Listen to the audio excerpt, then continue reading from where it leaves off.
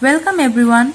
So here in this video I'm going to start a new chapter that is chapter 5. So students before starting this chapter I want to tell you that as you know that we have already completed our chapter 4 so I think your copies are completed. Okay so uh, already you get enough time to complete your work right students. So I think you have done it. So I want to uh, check all of your like all your copies uh, your maths copy and also I want PDF of your uh, practice copy. So wh while doing online classes I will mention that who have to submit because uh, like all together I cannot uh, check all the copies. So that's why I will I, I have decided that I will um, divide you students into some groups and uh, then I will tell you that okay so these students will send me uh, their practice copy and maths copy today. So then I will check uh, their copies. And similarly um, like uh, I will group uh, group you into some like you know sections so that everyone can send me and I, I can check all of your copies because that is very very important. It's not like you are sitting in the home so you will not do your work because students see uh, here now we are doing what virtual classes right? Online classes we are following. We are trying to uh, you know improve our habits. So why don't we keep our copies up to date? Because in case of uh, like uh, when we are doing um, physical classes. So in that uh, case what should we do? We do our everyday's work is not it? If i give you some work in class so in class activity also you participate active uh, actively right? So why don't we do same thing virtually? So we are getting the platform where we don't have any problem right? Uh, you can communicate with me uh, and uh, also if you have any doubt we can uh, discuss it in online class and even if I told you that if you have anything to ask, you can ask me anytime. I'm there to help you. So students, now from your side also, I want cooperation so that we can go um, uh, smoothly and we can uh, understand everything conceptually. Okay students? So as much as possible i'm trying to uh, do so students in case of anything any difficulty you just uh, tell me okay? Or you can ask me that ma'am how it is happening? I'm not understanding. So if you share with me then i can help you. Suppose you are not getting interest to do something or uh, anything so you can share with me so that i can give you some ideas which will help you to do your work properly on time and also you will find some interest in that. So yes, I know you are excited about the new chapter that is factors. So without doing any delays, let's start. So yeah, you can see the chapter name is factors. In case of multiplication, we already get what are called factors, right students? As you can see, I have taken one example. 5 into 2 is equal to 10. So in this case, these two number, they are called factors and the answer we get, that one is called product. So this one we already learned in the chapter multiplication. The number we multiply to get uh, product is called factors. Okay students the number that are multiplied to get the product are called factors. To understand this concept i have one more example over here. So you can see here i have considered 12 apples. So yeah i'm not good that much in drawing but yeah i think you can identify these are some apples. So here it is one line of apples or we can write it as 1 into 12 right students then we can get how much? 1 into 12 will be what? 12 now in second step you can see again we have 12 uh, apples but here it is two line of six apples. This one is apples. Okay students? Two line of six apple you can see one two three four five six. One two three four five six. So two lines of six apples. So here this one also we can write it as 2 into 6 right students? And 6 and again 6 so 2 into 6 it is what? 12 2 6 ja 12 right? Okay another step we have it is three lines of four apples. You can say here 4 apple 4 and 4 so there are total 3 lines. So here 3 lines of 4 apples or we can write it as 3 into 4 so if we do it how much we'll get? 12 right so you can see in every step we are getting 12. You can see this is the first step. So in second step again 12, in the third step again 12, right? So here you see these are some numbers which we are using to get the product. So what are these numbers students? As I just mentioned over here, the numbers which we multiply to get the products are called factors. So in this case 1, 12, 2, 6, 3, 4. They all are what? Factors, right? Thus, we can say that 1, 2, 3, 4, 6 and 12 are all factors of 12. Is not it? By multiplying these numbers, we are getting 12. So, that is why these numbers are the factors of 12. Students, you have understood? Understood? So, here some points I am going to mention. So, here you see properly. 1 1 is the smallest factor okay? In every case okay students? In every case like whatever the number is given. Here the number is 12 so whatever the number is given always always 1 will be the what? Smallest factor okay so you remember this. 1 is the smallest factor. And 1 is the factor of every number okay? Because students whatever we multiply with the number so if we are multiplying it with 1 we get the same number. So it may be whatever the number. So if we are multiplying it with 1 so we will get the same number right? So that is why 1 is called as the factor of every number okay? Now the k in in case of this so here 12 is our what? Product. We need this number. So in case of any number the number itself is the highest or greatest factor. Okay? So every number is the greatest factor of itself.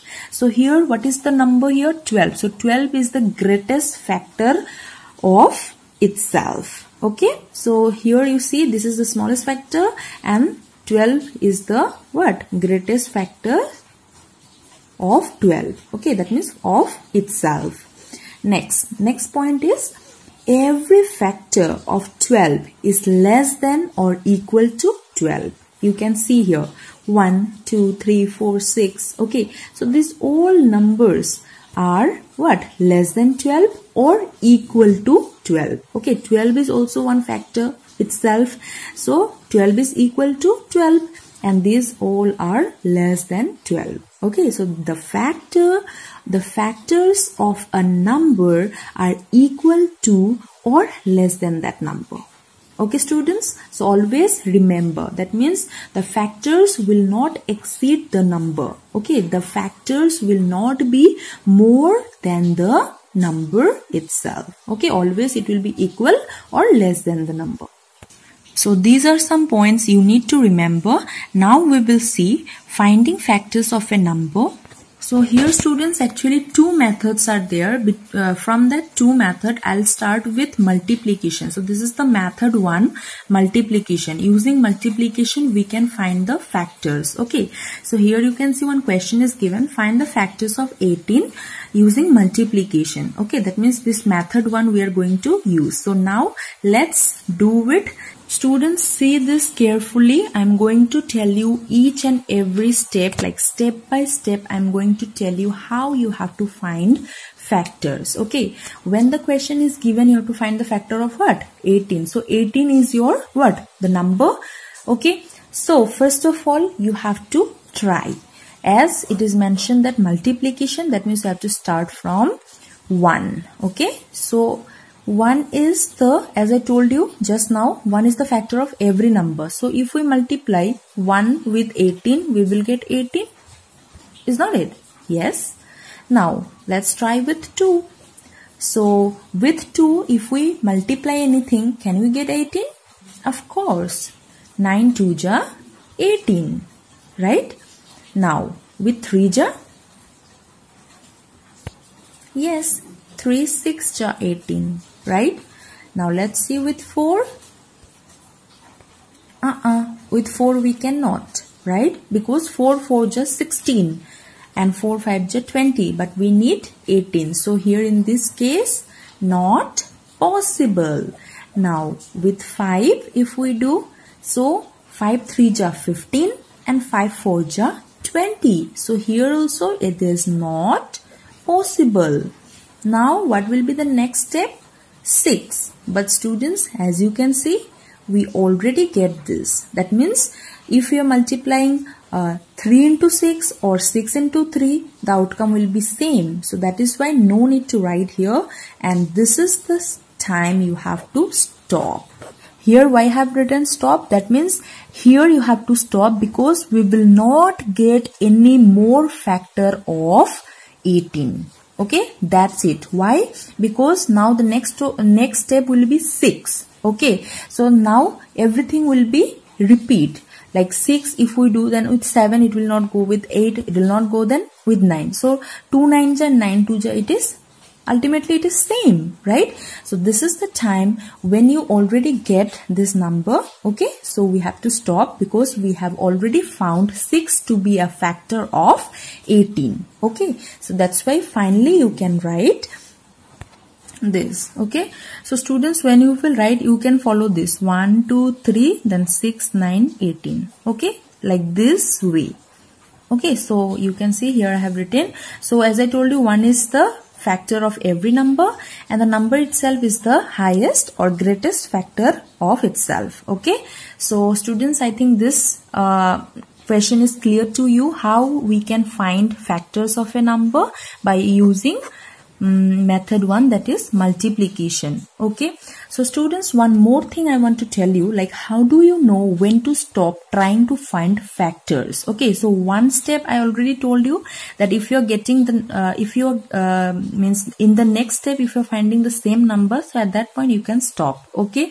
And always remember students if uh, like to find the factor okay stop at that number uh, which means um, where you can get the exactly that number. Okay because if you go for further steps it will be more if it is more than the number then at that point you will never get the number. Okay so basically what i'm going to uh, trying to say you is that uh, suppose uh, you are finding the um, you are finding the factor of 20 okay so 20 we need to find out right so now you see if we start from 1 so 1 into 20 yes.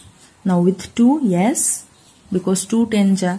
Now with 3 no we cannot. Because 3 7 ja 21 so we cannot. So here you can write not possible. Okay. Now with 4 let's try. 4 5 ja 20 okay. So now you see students next step will be what? 5 but 5 we already get. So that means here it is the point where we have to stop. Okay. And students, why we have to stop here? Another reason is that if you were like, okay, 5 to you got, now you can also try with 6, is not it? You may ask me that, ma'am, can we um, uh, try with some other number? So in that case, students, if you try with 6, 6 and 6 time if you do, you will get 36, which is more than which is more than 20 is not it? So that is why we it is not possible to find out more and more factors for 20 okay exceeds 5 so that is why this is the point where we have to stop because if we do some more multiplication then also we'll get more and more number not 20 okay so that is why we have to stop here. So i think this one is clear to you students. I will give some questions for you to uh, practice okay so these are the questions students you have to do it in your copy. So you can also say this one as your homework. Okay, so students I am not uh, giving you this uh, question into PDF form because these are very simple questions. I think you can see clearly in this video. So you have to find out the factor of 40. Uh, 16, 24 and 37. Okay. So you write them in your copy and after finishing you can uh, click the picture and you can send it to me so that I can see whether you have done it correctly or not. In my next video, I will discuss about uh, method 2 that is by using division and also the answers for these questions. So thank you so much and do watch this video properly and try to understand. Maybe this one is a very new concept for you but you are going to enjoy this if you understand this properly. And students as I already told you that uh, in case of mathematics practice can make you perfect. So that is why do not forget to practice and do your work.